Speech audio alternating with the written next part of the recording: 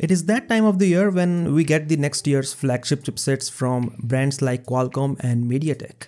Qualcomm will launch its Snapdragon 8 Gen 3 in a couple of days because the Snapdragon Summit is starting from October 24th.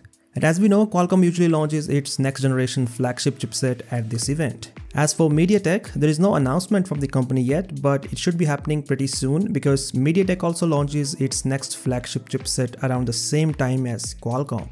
The next flagship SoC by MediaTek is named the Dimensity 9300 and today the AnTuTu benchmark score of this chipset was revealed and this chipset has shattered all the previous records for the AnTuTu score.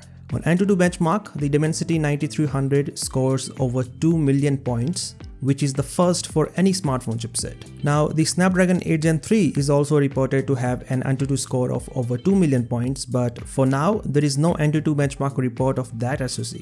Anyways, coming back to the Dimensity 9300, we can see the specifications mentioned as well. So while the CPU still has 8 cores, the core configuration is quite interesting this time. The Dimensity 9300 has 4 Cortex X4 cores and 4 Cortex A720 cores. This means the CPU has all the performance centric cores only and so the focus this time is to get as much performance as possible. Now this also means more heat and this also raises the question of how efficient this chipset is.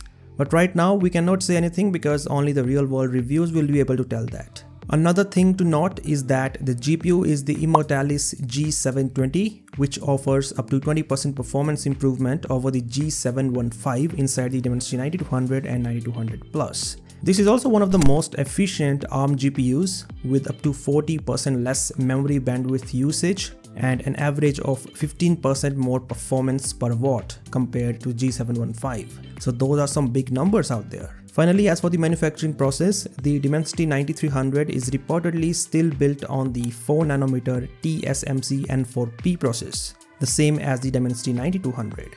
And the reason for not going for a 3nm process is said to be the lack of supply because Apple has reportedly bought the TSMC's entire supply of 3nm chipsets.